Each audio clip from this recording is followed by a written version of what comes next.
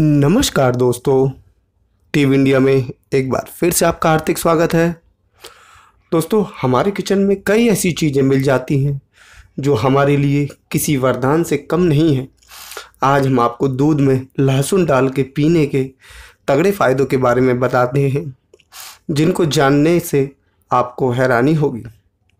दोस्तों, दूध में ऐसे तत्व मौजूद होते हैं जो काफ़ी बेमिसाल होते हैं, वहीं लहसुन में रहनिक तौर पर गंधक की अधिकता होती है।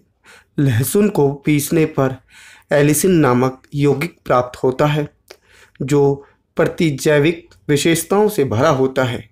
इसके अलावा इसमें प्रोटीन एंजमाइन तथा विटामिन बी, सेपोनिन, फ्लेवोनाइट आदि पदार्थ पाए जाते हैं, जो हमारे लिए बेहद फ़ायदेमंद होते हैं।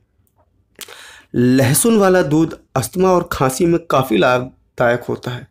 लहसुन में मौजूद जीवाणु रोधी क्षमता के कारण खांसी के लिए ये कमाल का नुस्खा है।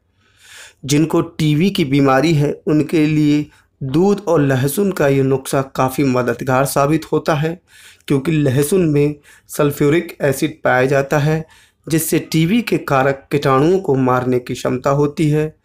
निमोनिया से बचाव के लिए दूध में लहसुन का सेवन आपके लिए रामबाण औषधि है।